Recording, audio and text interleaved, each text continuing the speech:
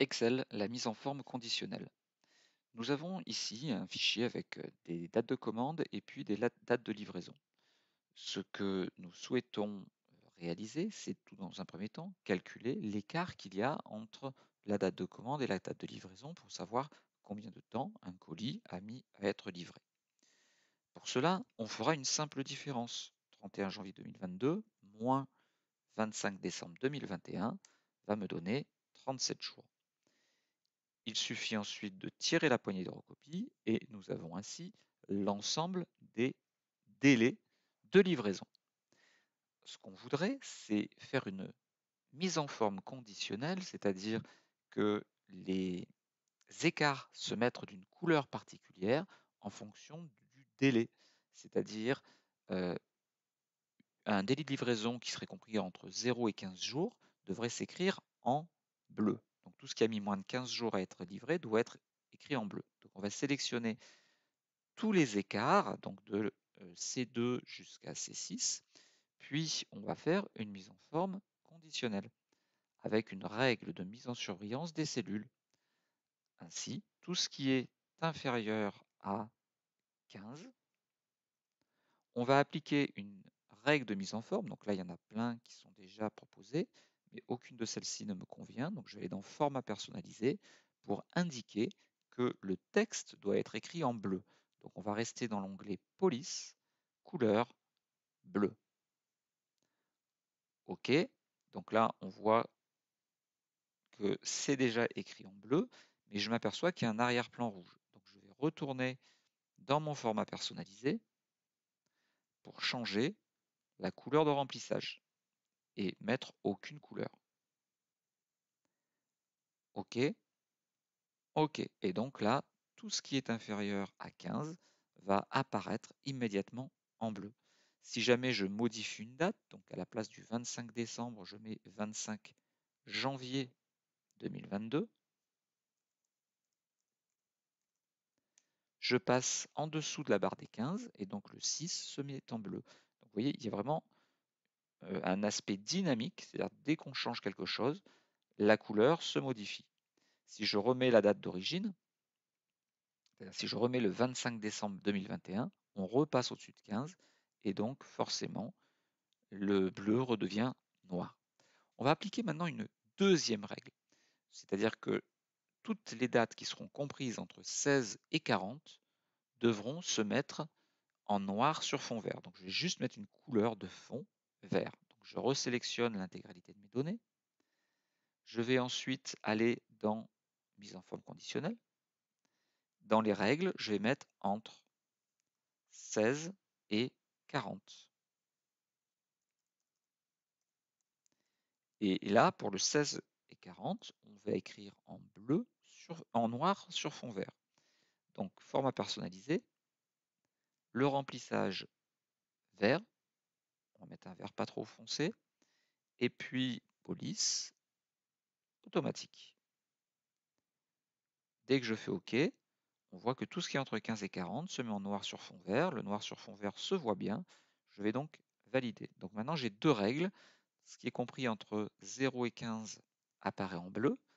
Ce qui est compris entre 16 et 40 apparaît en fond vert, sur fond vert. Ensuite, tout ce qui est supérieur à 40 je voudrais que ça s'écrive en rouge sur un fond jaune. Je vais à nouveau tout sélectionner. Toujours mise en forme conditionnelle, règle de mise en surbrillance. Et là, je vais mettre supérieur à 40. On va faire une mise en forme personnalisée. On va écrire en rouge sur fond jaune. Donc couleur rouge, c'est parfait. Remplissage, on va choisir un jaune. OK. OK. Et donc là, l'ensemble de mes cellules sont mises en forme en fonction des trois critères que j'ai donnés. Si jamais je voulais supprimer par exemple la première règle, pour faire des modifications sur les règles, on va resélectionner l'ensemble des cellules, retourner dans mise en forme conditionnelle et aller sur gérer les règles. Et là, nous retrouvons nos trois règles que l'on pourra modifier ou en rajouter une. Voilà donc pour ces modifications.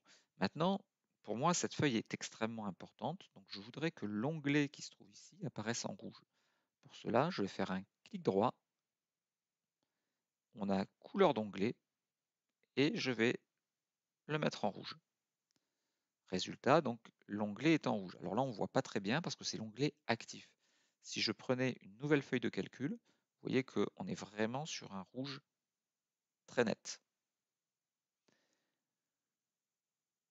Je vais maintenant régler la taille des marges. Je voudrais que les marges hautes et basses soient de 4 cm, alors que les marges gauche et droite soient de 3 cm. Alors là, on ne voit pas les marges. Pour voir les marges, il faut faire fichier, imprimer. Et quand on fait fichier imprimé, on va trouver ici, ah, je suis sur la mauvaise feuille, voilà, je reviens là, fichier imprimé. On va voir ici notre tableau avec des petites marges. Les marges doivent être de 2 cm environ. Donc là, je voudrais 4 cm et ici 3 cm.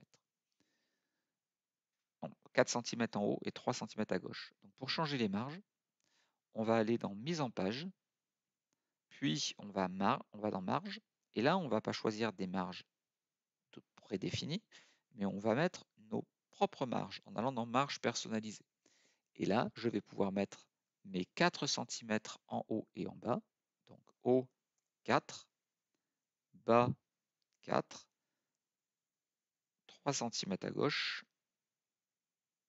et 3 cm à droite. OK, aucune modification ne se voit ici. Par contre, bien sûr, quand je vais faire fichier imprimé, on voit que là, les marges sont beaucoup plus importantes.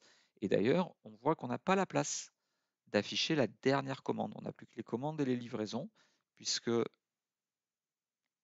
en fait, on est sur deux pages. Là, on est sur la page 1 d'un document qui contient deux pages. Et sur la deuxième page, il apparaît ce petit document. Alors, ce que je vais faire, c'est que je vais retourner la feuille, c'est-à-dire je vais la présenter en paysage, comme ça j'aurai plus de largeur. Donc je vais revenir ici, je vais rester dans mise en page, et dans mise en page, on a orientation. Orientation, paysage. On ne voit toujours aucune modification. S'il y a une petite modification, c'est-à-dire que quand on a fait déjà un aperçu avant impression par fichier imprimé, on a des petits pointillés. Et les pointillés indiquent là où il y a une rupture de page. Donc là, on voit que mes trois colonnes rentrent bien dans la première page ma première page sera définie par ces petits pointillés là. Donc si je fais fichier imprimé, on va vérifier. On voit que le document est entier.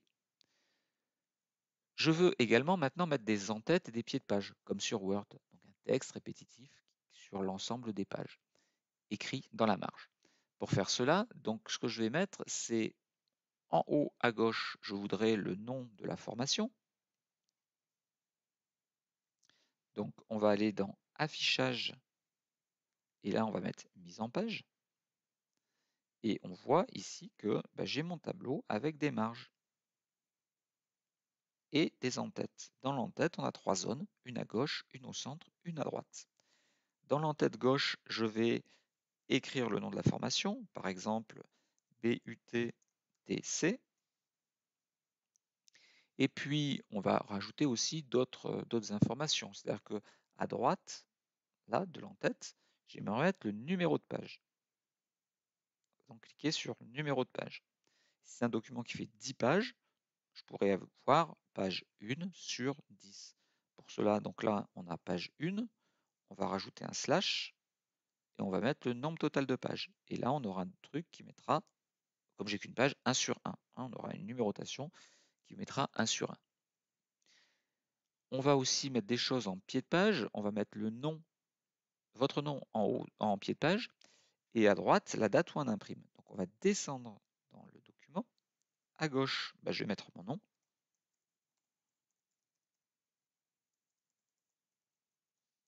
Et puis à droite, je vais mettre la date d'impression. Donc la date d'impression, on va la trouver euh, ici, date actuelle. Et comme on est susceptible d'imprimer plusieurs fois, donc là j'aurai par exemple 9 avril 2022 à, et là je vais rajouter l'heure d'impression. Comme ça, si j'imprime plusieurs fois dans la journée, je saurai quelle est la dernière version. Alors on a fait plusieurs manipulations, on va maintenant faire un petit aperçu. Histoire de voir un petit peu ce que donne notre page. Donc effectivement, on voit notre tableau, on voit but TC, 1 sur 1, Fabrice Lot, et 9 avril 2022 à 10h58. On va encore faire une petite chose ou deux.